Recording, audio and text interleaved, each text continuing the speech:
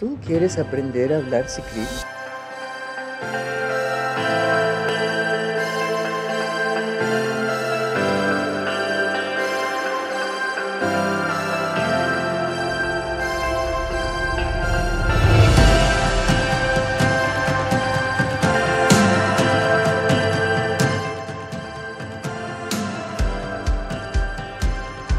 Todo comenzó eh, por una nota periodística que llegó a manos de mi hermano Carlos, que es el guionista, y esta nota hablaba de la historia de dos últimos hablantes de una lengua yapaneco eh, en una región de Tabasco. Entonces, bueno, simplemente fue como un punto de partida para eh, Carlos comenzar a, escribir pues todo lo que queríamos contar en este universo, ¿no? Con, de la lengua, pero también pues hablar de identidad, hablar de diversidad, hablar de amistad, de amor, por supuesto. Que me di cuenta es que, bueno, pues generaba una gran conexión con, con, con el público.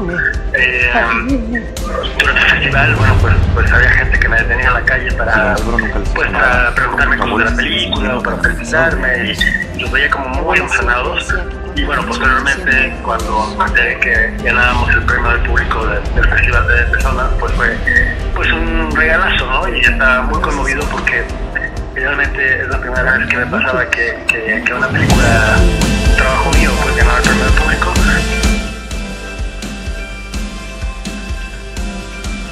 Al principio, eh, yo siempre pensé que, iba a ser una lengua real, la que íbamos a usar. Sin embargo, cuando comenzamos a tener contacto con lingüistas y con hablantes de algunas lenguas que están por desaparecer, pues, pues bueno, me di cuenta, ¿no? Que, que con el tesoro que es, lo que significa conocimiento sagrado, no quería que pues, nadie fuera a pensar que yo estaba usando ese conocimiento para, pues, para mi película. Mi petición fue ingenuamente como, ¿por qué no hacemos la adaptación de alguna lengua? O sea, simplemente que, que funcione para lo que necesitamos en la película. Y Javier dijo, no, pues, dame, dame un par de meses para generar algo original para la historia. y efectivamente regresó con, pues, con todo un manual de Sicril, ¿no? Para que cuando lleguemos al set pues no fuera una preocupación, ¿no? Como el, el, el, la lengua, sino, sino más bien como lo que los personajes eh, requerían.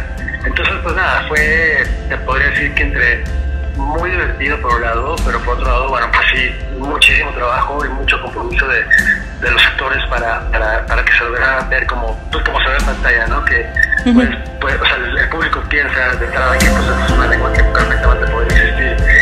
en algún siempre como eh, la manera de relacionarnos con el otro, la manera de conectarnos con el otro, eh, a veces se puede, a veces no se puede, y eso tiene que ver con la incomunicación, ¿no? Y en ese caso, bueno, pues eh, evidentemente tiene que ver con, con, con un idioma, y, y, digamos que, pues sí, vamos, ese, ese tipo de temas que me, ha, que me han interesado, sin embargo, en Sueño de idioma, pues yo quería hacer algo mucho más luminoso, mucho más abierto, donde los personajes pues pudieran eh, reírse o cantar o pues, eh, pasarla muy bien y que a diferencia de las películas anteriores que eran como muy urbanas pues nada, regresar ahí a mi tierra que fuera mucho más eh, orgánico, ¿no? Todo, toda la, la, la, la, forma de contar la película y en espacios que pues que me, me, me entusiasmaba mucho filmar porque son, son lugares a los que de niño iba con mis padres, ¿no? Toda la región de los Tuxtlas. Entonces, bueno, sí creo que, creo que, pues como director finalmente pues tienes temas que te van interesando, los que vas explorando.